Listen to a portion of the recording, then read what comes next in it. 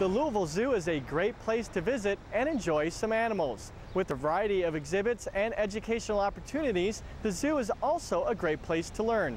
We take a walk on the wild side to explore some of the zoo's educational programs.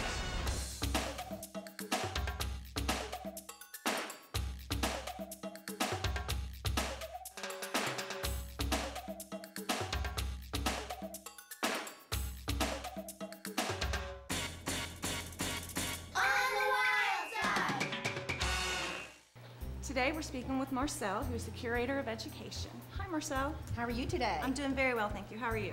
We're wonderful. Could you tell us what you do here at the zoo?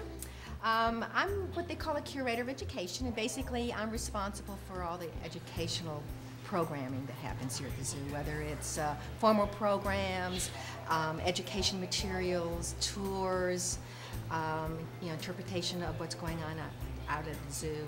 Know, so it's formal and informal education. And the living classroom is a fabulous place to use um, as a teaching resource. Tell me about the program here, the, the zoo school program. School at the Zoo is very much um, a full week-long, all-day program for mostly seventh graders from Jefferson County Public Schools.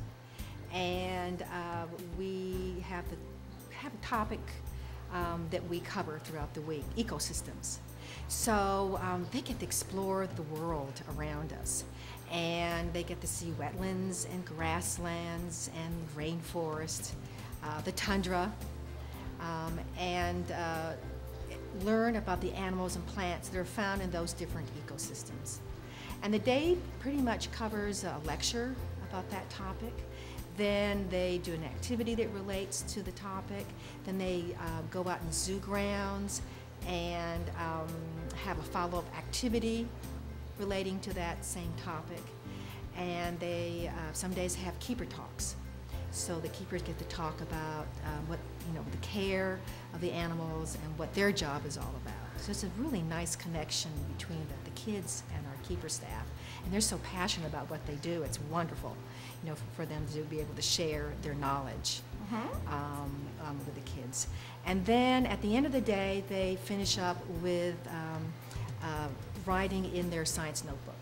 And writing is a very important component to science. You know, we're trying to improve science literacy. And so they get to uh, write about what they did throughout the day. They get to review their vocabulary words. It's a good way for us to assess and see what they've learned throughout the day. You know, repetition is always good. You know, the seventh graders are tested in science at the end uh, in April.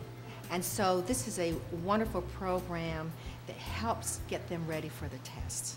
Some of the students walked out of their test uh, last spring and they said, oh, those are some of the things that you know we heard about at the zoo. So we're really helping the teachers teach what they have to in the classroom by using hands-on um, activities. Um, you know, they get to explore and discover uh, the world around them, and uh, you know, the zoo is a perfect living classroom. We're outside of the Gorilla Forest exhibit. Pat Thurman has joined me. She is a seventh grade science teacher at Newburg Middle School. Hi, Pat. Hi, How are you doing today? I'm great, thanks. Can you tell me what your class is doing here today? We are having a fabulous week here. We're spending time working on life science, is a huge component of our of our curriculum. Uh, we're doing things like ecosystems. Uh, it's our theme for the week, so we study a particular ecosystem. Today we're doing the rainforest, which is why we're here at the Gorilla Yard. Um, and what greater opportunity! The kids study and then they go see. so they can have some interaction. Uh, obviously, we can't touch a gorilla, but we've touched other animals this week. It's a fabulous program. The students really seem to be having a great time today. What do they take back to the classroom from this? A lot of our students, believe it or not, this is their first zoo ever. So for them, they're just they're in such awe. Wow, this is this is really here. They read about it, they see it in books, they see it on the news or National Geographic, but to actually come and experience the zoo is a wonderful idea for them. They take back the memories, they take back the experience to their family. Uh, they've got a notebook they've been compiling for the week. We'll take that back to the classroom. We'll use it uh, cross curriculum. They're going to use it with their math program as well. Uh, but the, I can't say enough. This is a fabulous program. This is my fourth year to bring a group here to the zoo.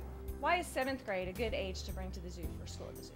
Seventh grade, is the CATS year for science. So we have a lot of things that have to be covered. Life science is a big component. So again, to, to study ecosystems, with the ecosystems we also have talked about climate, we've talked about food webs, we've talked about the water cycle.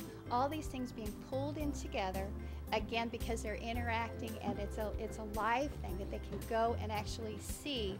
It makes more sense to them, it's more concrete so that it, they can relate better when it comes to a test question being asked, if they have to write an open response question.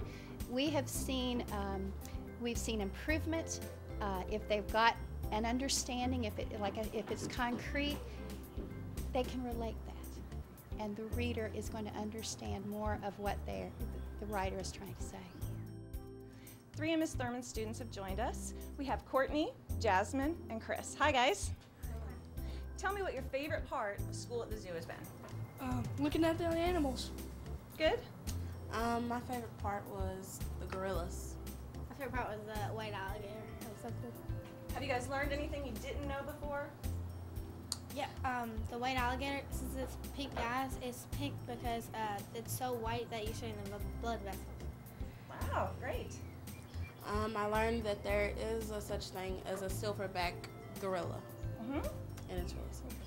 Yes, it is. Uh, I think, oh yeah, I learned what a chinchilla feels like actually. Cool. Excellent. Is there anything that you want to take back with you when you get back to the classroom?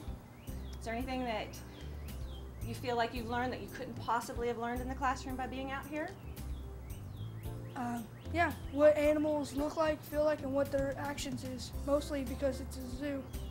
For more information on the zoo's educational programs, visit louisvillezoo.org. Metro TV, a public service of Louisville Metro government.